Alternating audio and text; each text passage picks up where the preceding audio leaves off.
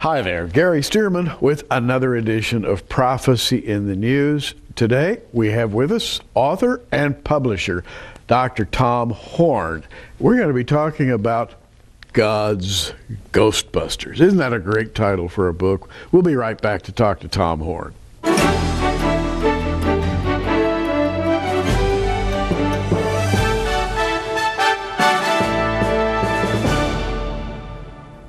And I'm glad you're with us today because we've got a real treat for you. Uh, we're going to be talking about uh, developments in the modern world as they relate to the Bible. And Tom Horn is with us. Hi, Tom. How are you? Hi, Gary. Great to be back with you as always. God's Ghostbusters. you know, I wish I had. Uh, had, had thought of that title first and saved it for myself. That's a great title. but all kidding aside, we're living in an age now where this generation has made a swift left turn or something. We've got people uh, worshiping vampires and going out in, in, in lonely areas with uh, tape recorders and trying to record the voices of ghosts. I mean, all kinds of strange paranormal phenomena are popping up. Uh, seemingly at, at an ever increasing rate. And I think your book has a lot to do with that trend. It actually does. As a matter of fact, you know, we always try to find what are the most important current trends that could also have some connection to Bible prophecy.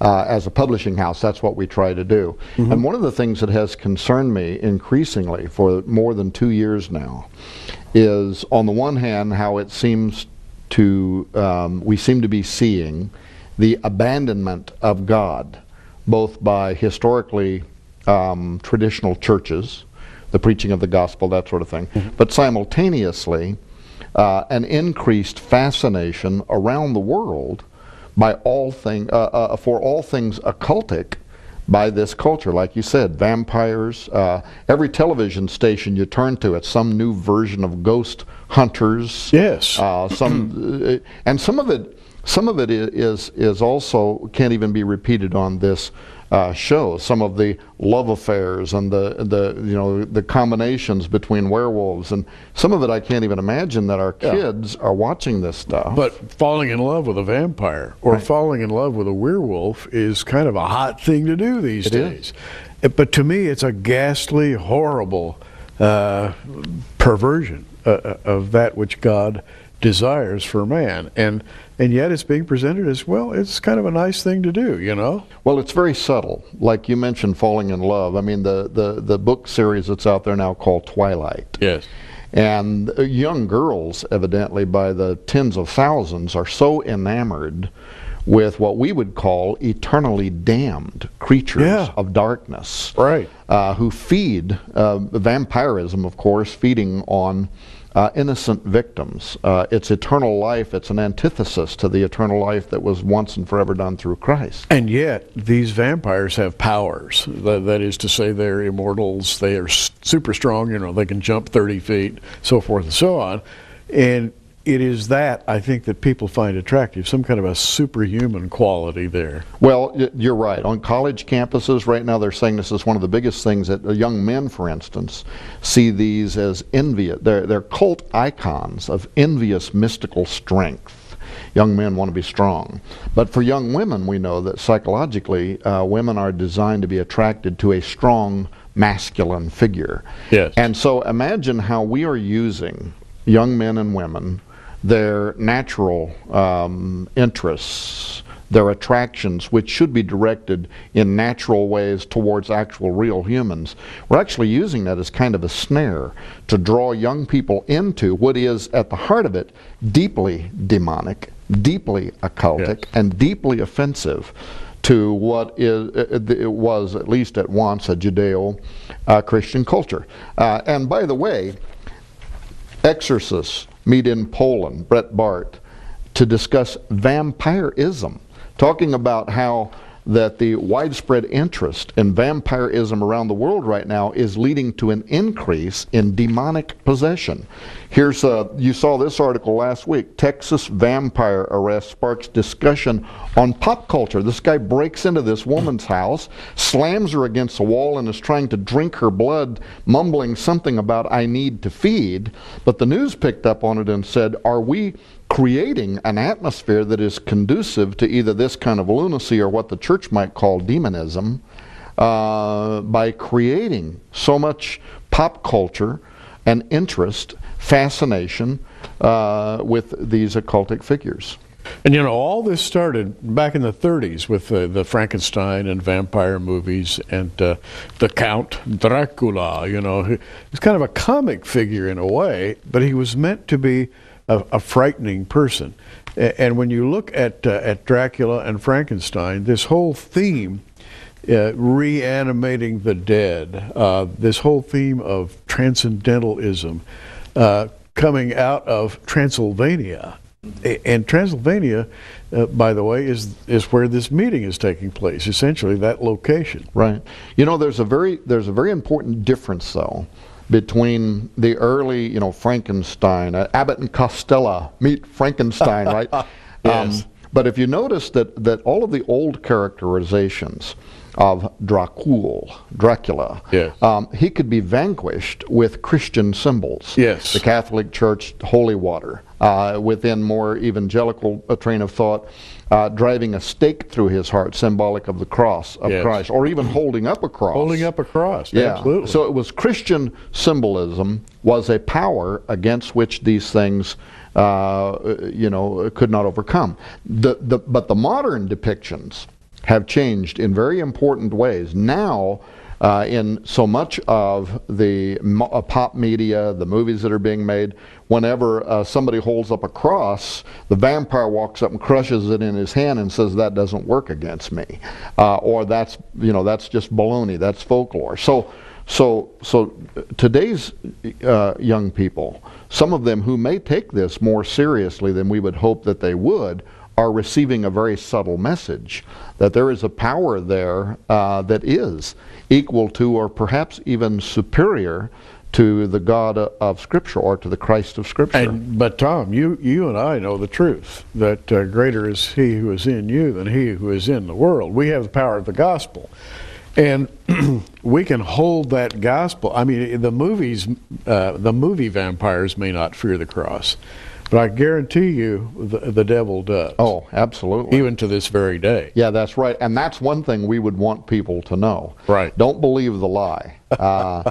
if, if you have faith and you believe in Christ, the authority of Christ, uh, and it's and by the way, it's not like it's a Rocky Balboa story that somehow Jesus in the end might get in a lucky punch and overcome.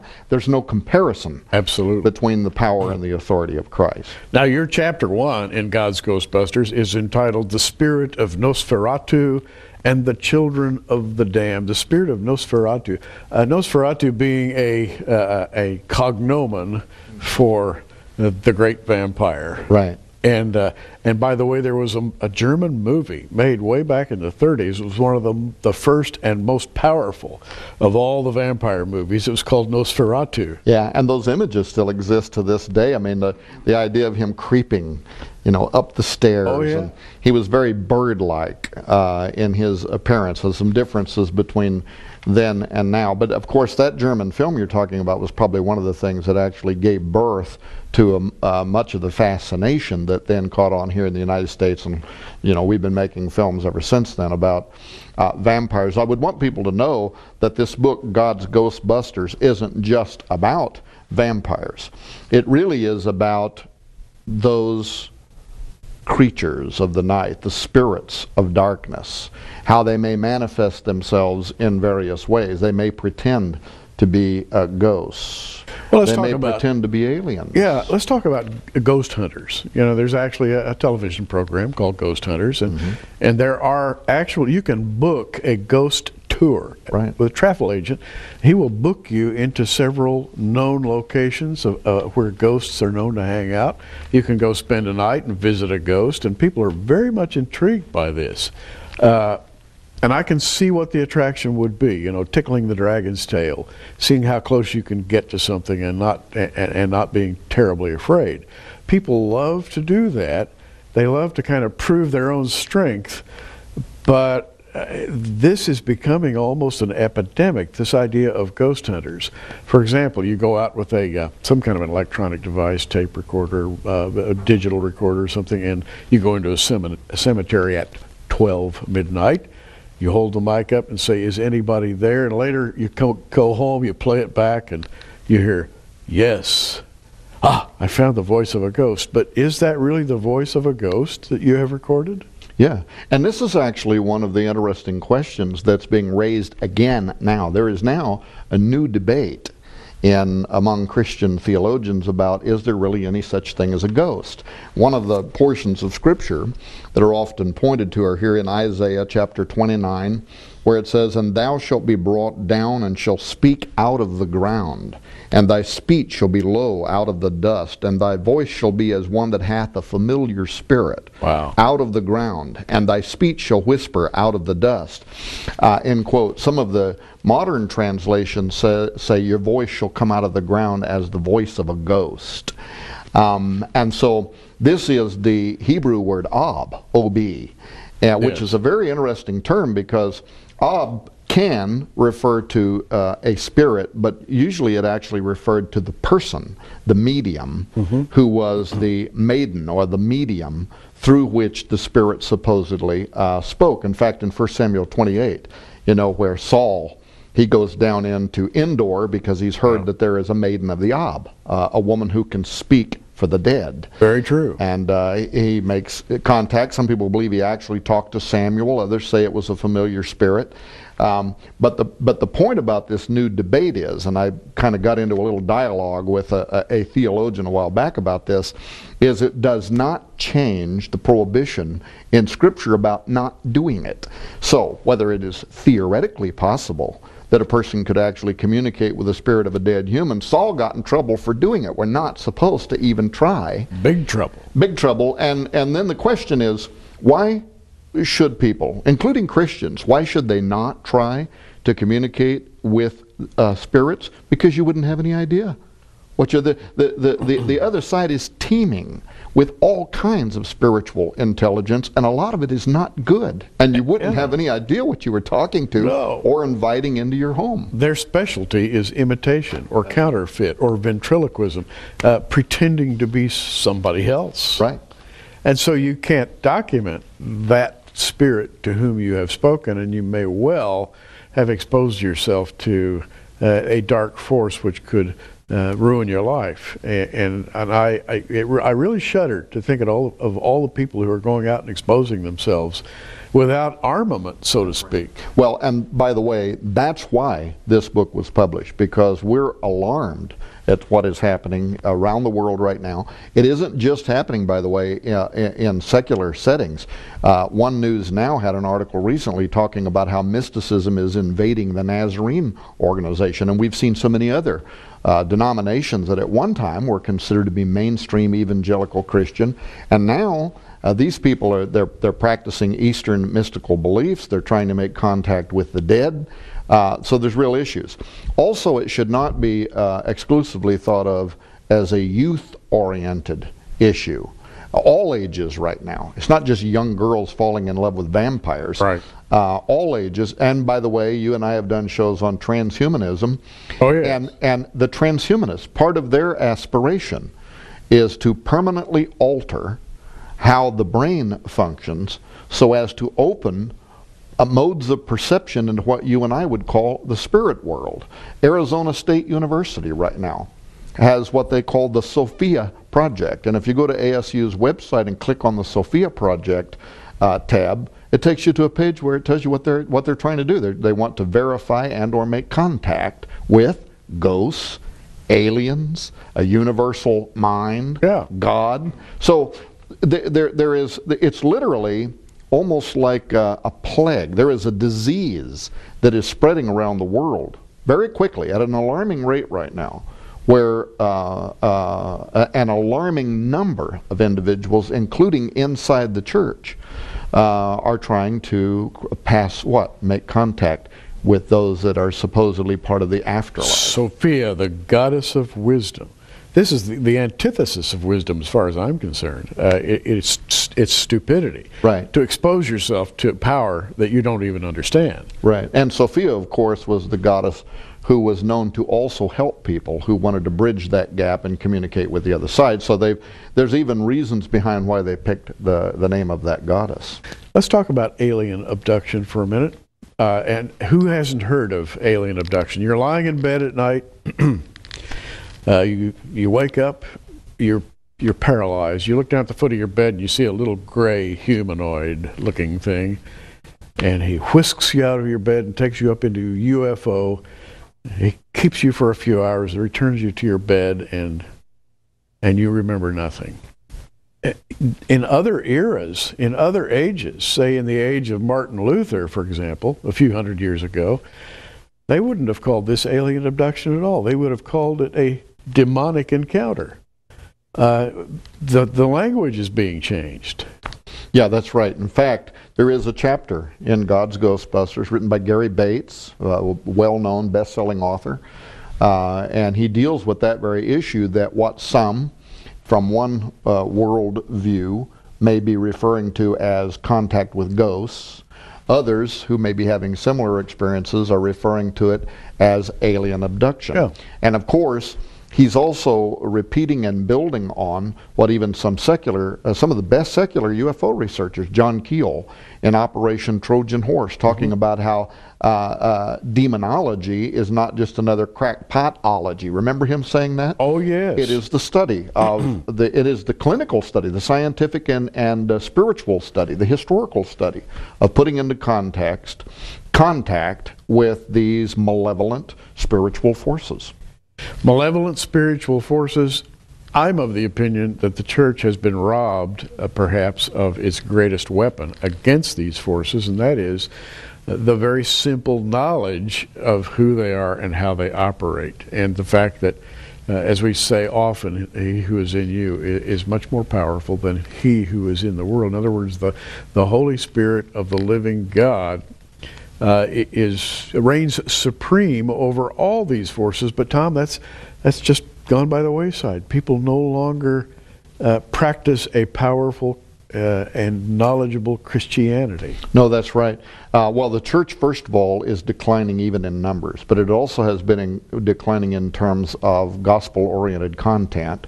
And if you remove the gospel, the preaching of the gospel from the church, you strip the church of its power. Paul said, I'm not ashamed of the gospel of Christ, for it is the power, the dunamane, the dynamite. Right. That's what can change people's lives, but it's also what can set people free and keep them on a sure track uh, in their life. Uh, now, as the church is in decline, we're seeing an explosion uh, in occultism. And by the way, you wrote a chapter uh, in this book also talking about other ways in which these spirits may be manifested, uh, what people today commonly refer to as cryptids, cryptozoological Crypto manifestations. Zoology. And, and by the way, we have the, uh, the chupacabras running around, you know, little bizarre demonic-like creatures running around in the middle of the night.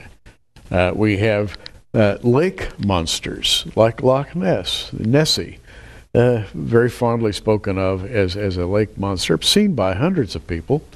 But strangely, when an expedition is mounted, all these lake monsters disappear. Sort of like Bigfoot, you know, that people see him, but they can never find him later. And on. they not only see them, uh, in Loch Ness, they've taken very sophisticated sonar equipment and recorded very large blips of something, of something moving through the water, and then all of a sudden it's gone. It's gone. Uh, and of course, this goes way back in history. Seafarers, those also who weren't given to the bottle, right, making uh, records of uh, the both yeah. the mermaids, which is another one of these possible manifestations, but also of these uh, dragons. In fact, the title of your chapter is Do You Believe in Dragons?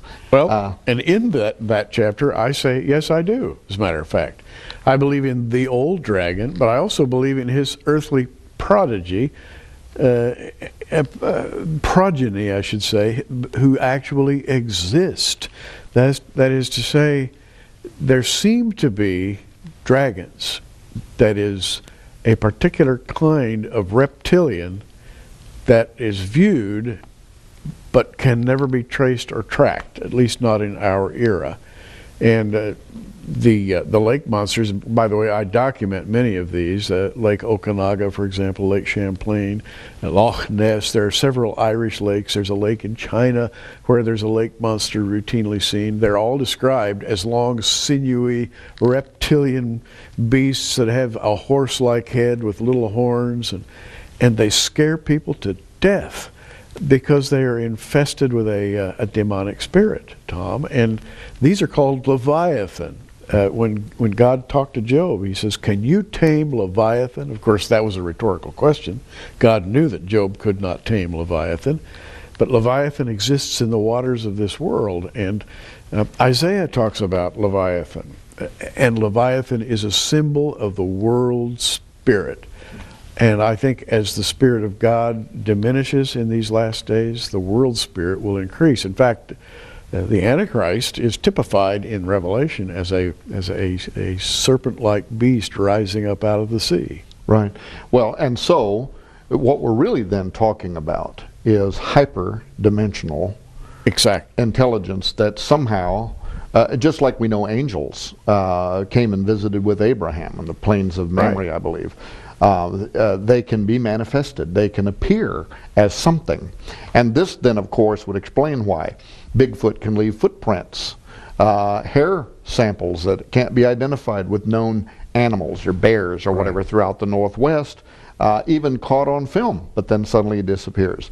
Uh, and so this is another manifestation, isn't it, of it the is. same type of spiritual phenomena. I'd love to, to pursue this, but we're down to our last three or four minutes, and I, I did want to touch on another subject that's in this uh, this book, God's Ghostbusters. The subject is shamans, psi spies, uh, uh, where people are uh, clairvoyant, uh, mediumship, where people claim to be able to see things at a distance. Uh, you have a chapter in there on on this phenomenon, which, by the way, is growing by leaps and bounds. You can now enroll in a in a school that teaches you remote viewing, which is using your mind to see something at a distance. And it's becoming quite the fad these days. Right. Mediumship. Now, the Bible thoroughly discourages mediumship. Actually, though, there are now DMT churches that yep. are springing up.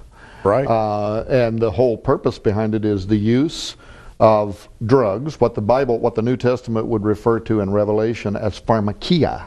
Right. Uh, the use of a drug to stimulate certain portions of the brain for the third eye, that's what the shamans would refer to it as, to open up uh, perception so that you can make contact with the spirit world. That's why pharmakia, uh, the contact with the spirit world through the use of sorceries and medicines. And isn't this one of the things that was it Azazel, one of the fallen angels that came down to the earth that taught enchantments and sorceries? Yeah, according to the uh, book of Enoch, they did indeed teach exactly this, what we would call mediumship, sorcery, shamanism, mm-hmm. uh, clairvoyance. Uh, taught by the fallen angels. But again, it was um, Terence McKenna, who is a well known, he's deceased now, but he was a well known uh, inventor, scientist, philosopher, but he was also a shaman. Right. And he would go and use these mind expanding drugs, but he was convinced that he had made contact on more than one occasion with uh, consistent intelligence that was somehow just beyond the veil. He too was a transhumanist that said someday we will modify the human brain so as to create a permanent uh, pathway for communication with these spiritual entities. So from it seems like from every quarter of life right now, you can see this interest. I did want we're, we are going to run out of time. There is one thing I wanted to quickly say, okay, and that is that some people will tell you that the Bible has nothing to say about vampires. I think the Bible has a lot to say. First of all, it condemns the drinking of blood, so we know that vampirism uh, was something that was equated to the ancients. Uh, there's also, which we won't have time to get into, the screech owl in the Old Testament, which is interpreted in, in like in the 1920s versions of the Bible as a vampire. We'll have to talk about that the next time I come. Oh, yeah. But there is a very well-known uh, vampire actually uh, in the Bible. Here it is. Um, Revelation 17:6 says about the great whore of Revelation that's related, of course, to the coming of the Antichrist. And I saw the woman drunken with the blood of the saints and with the Wow. blood of the martyrs of Jesus. And when I saw her, I wondered with great admiration. So, if you've never thought about it before, the great whore is a vampire. Time flies when you're here. I wish we had another hour. Well, it's great to be with you again, Gary. Oh, great to be. We'll pick it up you. next time, Come maybe. back soon. And uh, this is Gary Stearman. Have a great day in the Lord. And remember, we are living in those days. So keep looking up.